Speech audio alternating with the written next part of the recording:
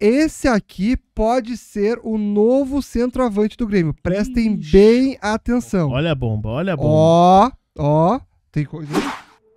No tag de volta, e galera, vamos para mais um vídeo e nesta vez vamos falar sobre um possível reforço do Grêmio, um jogador pro ataque, pro lugar de Luizito Soares.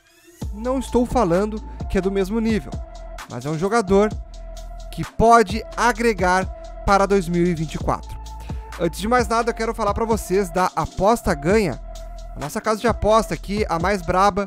E lembrando que eu preciso bater uma meta lá com eles até o final desse ano. Então entra lá, te cadastra, não precisa pagar nada. Ao contrário, eles vão te dar dinheiro, vão te dar 5 reais aí, só de tu te cadastrar, pra tu brincar lá à vontade. Beleza? Entra lá na aposta ganha, aproveite, aposte de montão e lembrando, com responsabilidade, tem que ter mais de 18 anos. E se tu já é cadastrado, cadastra aí algum amigo, ah, filho, pai, mãe, namorado, namorada. Isso aí vai fortalecer bastante aqui a gente. Tamo junto?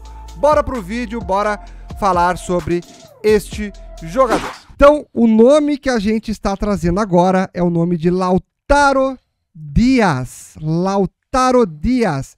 Esse jogador que, inclusive, já trouxe há algumas semanas né, um vídeo sobre ele.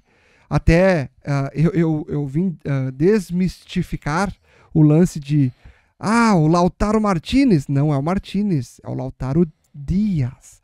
Que muitas pessoas estavam até veiculando que era o Lautaro Martinez, né? Não, não é o Martinez. É o Lautaro Dias, joga no Del Valle.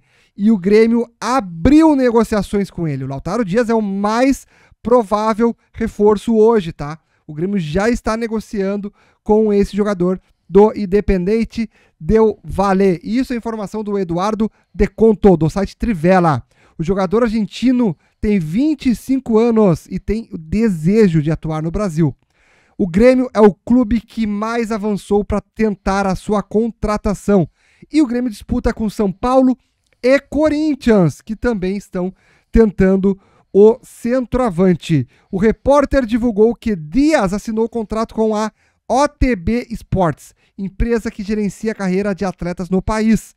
Com prestígio no Equador, o atacante tem vínculo com Del Valle até o final de 2026 e um e uma multa rescisória estipulada em 5 milhões de dólares, ou seja, 24,5 milhões de reais.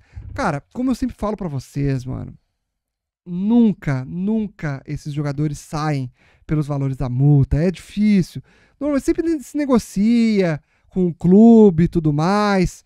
Então, por este motivo, é, é, é ainda plausível, né? É, é possível o Grêmio contratá-lo. Não que ele vá sair pelos 24 milhões de reais, né, Felipe? Uhum. Mas é O uma que tu boa... acha dele? Cara, é um jogador. Ele não tem bons números, a galera fala. É, né? Eu já não vi tem que bons não tem números. bons números, né? Mas é um jogador que te- desperta o interesse, inclusive, do Corinthians e de São Paulo. Né? É um jogador aí que também tem uma idade boa, né? Ah, vamos ver, cara. Eu acho que já- entendemos. Ele joga pelos lados também, né, Notem? Ele joga pelos lados também como centroavante. Sim, sim. Ele joga pelos lados e o Grêmio tá precisando desse tipo Ele é de versátil, jogador Ele é né? versátil. Só tem uma questão aí que tá, que tá meio assim com uma pulga atrás da orelha. Porque, cara, é é uma vaga menos pra estrangeiro. Aí que tá. Então a gente, beleza, o Soares liberou uma vaga, infelizmente, é, diga-se de passagem. Mas e aí? Quem mais? O Carbacho, será que vai sair?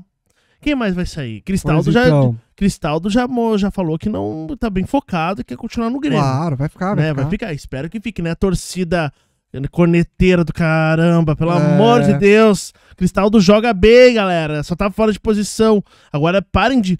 Contratem pontas, pelo amor de Deus, pra não botar o Cristaldo mais na é, ponta. exato, tem que É. ter ponta. Tem que ter ponta. Então, o Lautaro Dias, gurizada. Lautaro Dias é o grande nome do momento.